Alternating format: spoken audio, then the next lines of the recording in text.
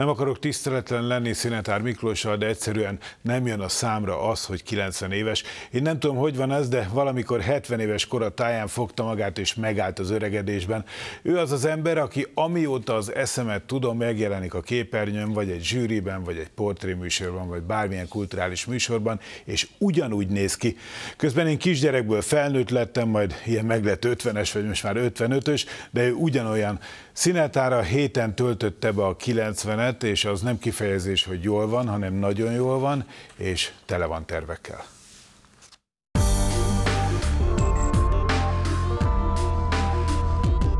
Szervusz, szervusz.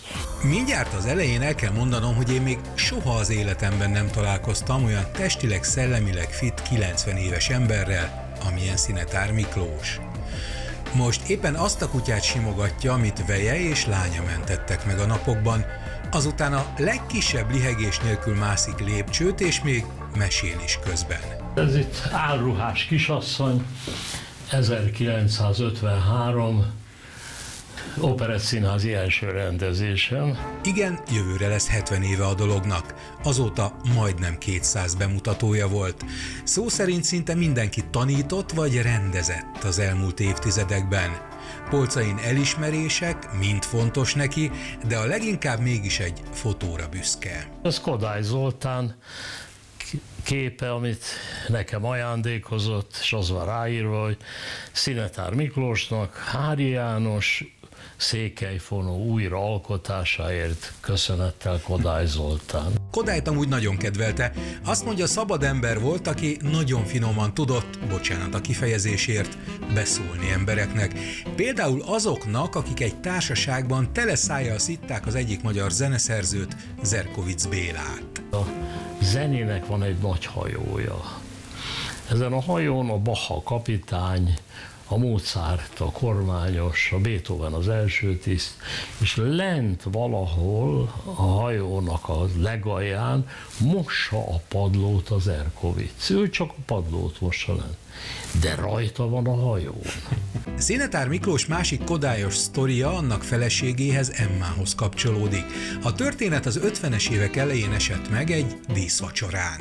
Odaültették a Rákosi Mátyás mellé és akkor a Rákosi odaforult a Kodály, és megengedi, bemutatkozom, Rákosi Mátyás vagyok. Mire a Kodály azt mondta, hogy maga az, nagyon sok rosszat hallottam magáról. Ez. És nem vitték el? Nem. Igen. Azután leülünk és rákérdezek, hogy mi az a kérdés, amit nem szeretne megkapni, mert hogy azt feltenném. De nem tudom. Így hirtelen nem tudom. Azt kérdezem, amit akar. Legyen így. Jöjjön Rózsa Sándor. Hallod a öcsém Bálint? Te csak ne szeres bele abba a lóba, mert hozzád ragad, aztán úgy jársz, mint a Ruzsa Sándor. Hát, az ugye hogy járt? Egy részlet a Szinetár Miklós által rendezett Rózsa Sándor című tévésorozatból,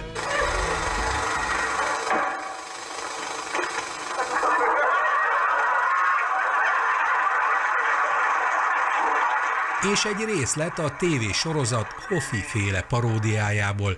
Nem tudom melyik a híresebb, de vajon hogyan látta, és hogyan élte meg ezt a paródiát a rendező? Egyrészt úgy, hogy nem esett jól a karikatúra, másrészt úgy, hogy megállapítottam, hogy a Hoffi zseniális, mert zseniális. De egyet nagyon szeretnék hangsúlyozni. Abba a diktatórikus televízióba. Én vezető voltam, és az én filmemről lemehetett egy ilyen paródia. Na, erre is kíváncsi lennék manapság. Azt hiszem, hogy hagyjuk is inkább a jelent, és menjünk vissza egy kicsit a múltba. A Színetár család otthonában még a garázsba is jut relikvia. Olyan plakátok vannak itt, amelyeket vélhetően sok múzeum fogadna el a saját gyűjteményébe is. Katona Színházban annó ez a legendás vizsgálőadás, a Koldus Opera. Hát Margita Jági, Pásztor Erzsi, Bodrogi Gyula, nagy színészek ját lettek belőlük. Milyenek voltak ők fiatalon? Lehetett látni, hogy Na, Na, ebből a csapatból nagyon, lesz valami? Nagyon tehetségesek voltak, hát őrült sikerük volt. Amihez persze a rendező Szinetár is hozzájárult. Megtaláltam a Filmszínház muzsika egyik 1958-as számában azt a kritikát, amelyet arról a darabról írtak. Az előadás pompás, s az érdem ezért elsősorban Szinetár Miklósé, a fiatal rendező tanáré. Az ő felfogása jár az elmúlt idők hazai Brecht bemutatói közül legközelebb az igazi Brechti felfogáshoz. De aztán van itt még egy valami, ami érdekes, ami megmutatni. Theater an der Wien, 1963, a Csárdás királynő. Szóval ott játszani a Mozart színházába, azért ez nagyon nagy dolog volt. Hát Honti, Feleki, Német Marika, Rátonyi Robi, szóval a nagy csapat. Ráadásul ezt a valóban páratlan csapatot egészen fiatalon, alig 22 évesen kapta meg Szinetár először, erről tanúskodik egyébként egy 1954-es filmhíradó. Kálmán Imre világhírű csárdás királynőjét felújította a fővárosi operett színház. Rendező Szinetár Miklós. Jaj, cica, eszem azt a csöpő kitár, nélküled még a mennyország is vár. És hogy az alig felnőtt korú Szinetár hogyan bírt mondjuk a tudottan nehéz természetű Honti Hannával, vagy a könnyen megsértődő Feleki Kamillal? Színházat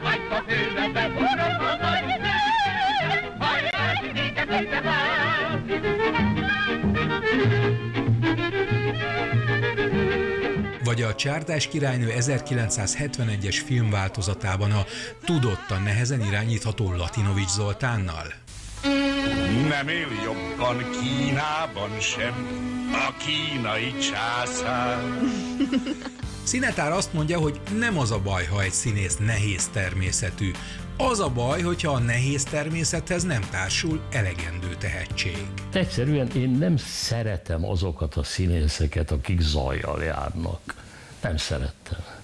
De azokkal, akik nagy zajjal, azokkal remekül dolgoztam. Szóval Latinovics Zoli az egy barát, az egy nagyon jó barátság volt köztünk, de mert szóval azok az más, szóval ezek a nagyből, azokat szerettem. Azokat nem szerettem, azokat a, hát nem jó-jó, de nem nagyon jó színészeket, akik a saját fontosságuk miatt a próbán mindig műsort akarnak adni. Hadd veszek el hát, vagy miért is éljek, mikor látom, mivé lett a szabadság. Szinetár Miklós 1969-ben rendezhette meg a magyar televízióban az ember tragédiáját.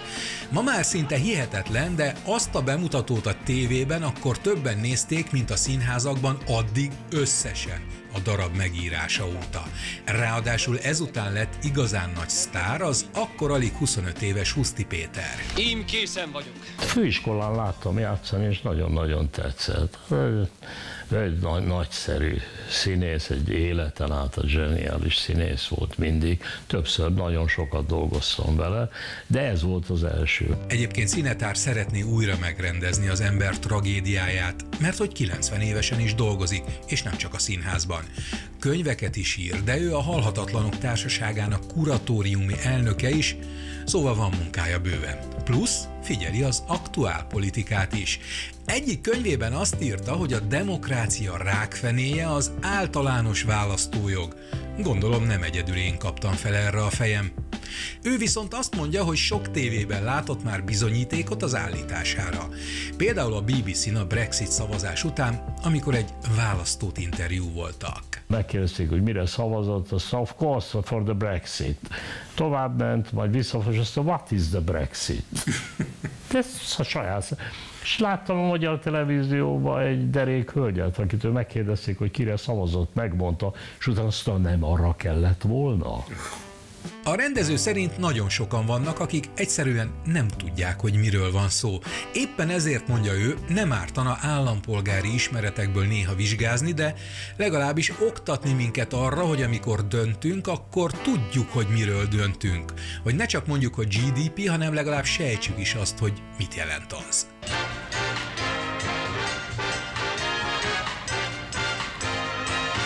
De hogy ne csak komoly dolgokról beszélgessünk, megkérdeztem a tanár urat, hogy mi volt a legemlékezetesebb bakia. Nos, mint kiderült, az éppen 60 esztendővel ezelőtt történt. Országos botrány, mert a közvetítő kocsiba, ahonnan vezettem, másként járt az óra, és korábban volt éjfél, mint éjfél, és egy ország dühöngött, hogy ja, hát akkor nagyon dühös vagy, miért, miért kell neked?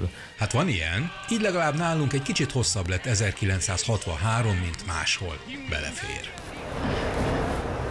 Szokásos program a családban, apa és lánya sétálnak egy kicsit. Én meg arról kérdezem Dórát, hogy idehaza is tanár úr-e Szinetár Miklós, vagy itt csak apa és nagyapa. Dóra azt mondja, hogy szigorúan apa és nagyapa. Voltak olyan helyzetekre kérések, hogy mi kerüljünk abba a viszonyba, hogy ő a tanár úr és a mester, de én ezekből mindig kihúztam magam, mert nekem ő az apukám. De nem is, hát nem, nem, az, a, nem az a viszony. Ez az én kislányom. Igen.